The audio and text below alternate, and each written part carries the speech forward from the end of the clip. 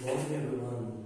Today we are going to discuss one of the Gauss's theorem that is to find the electrical intensity due to infinitely charges.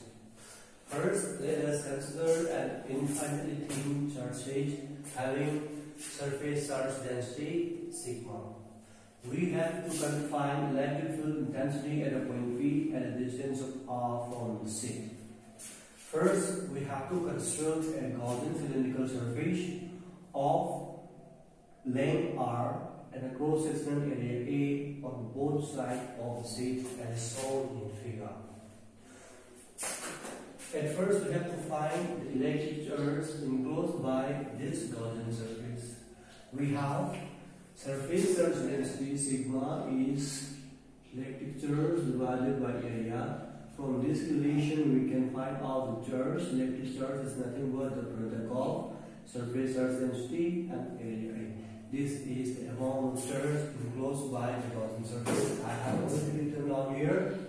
And according to Gauss's theorem, electric flux linked with a closed surface is equal to 1 by uh, epsilon times of charge enclosed by the Gaussian surface. Here E vector dot ds vector that means the dot product this dot product can be written as E ds in cos theta where theta is the angle between the direction of electric field and a normal drawn to the surface. Now let us divide the Gaussian surface into three parts as shown in figure. Now this Gaussian surface is divided into three parts. The first one, part one, is this this area, this cross section area and a part 2 this cross-section area and a part 3 the lateral surface area.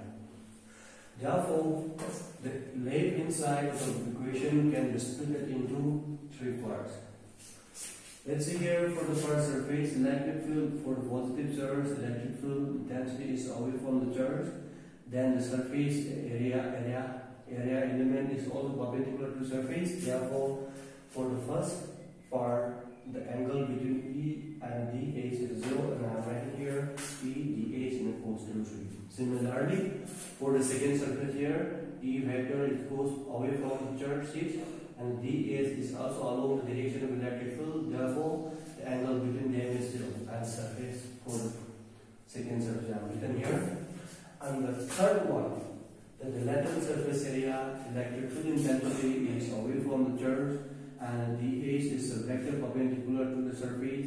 Therefore the angle between them is 90 degree and the third I have written here as the ds into cos 90 as we all always know that cos 90 is 0 and the third term will be 0 and here first term without any change second term without any change because cos 0 degree is 1 here is also cos 0 degree 1 then right hand side remain unchanged here the electrical intensity are constant. We can put often integration here. E dx E dx equal to sigma A divided by epsilon naught.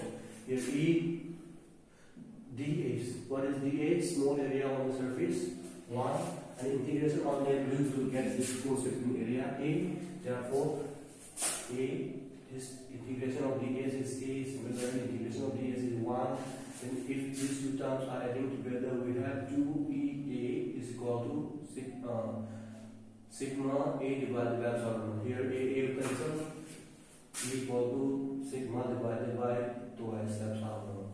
This is the expression for electric field intensity due to infinitely charges. From this expression, we can say that the electrical intensity due to a charge is independent of its distance from the city. Thank you. That is the end of sessions. See together in the next class with another topic. Bye bye.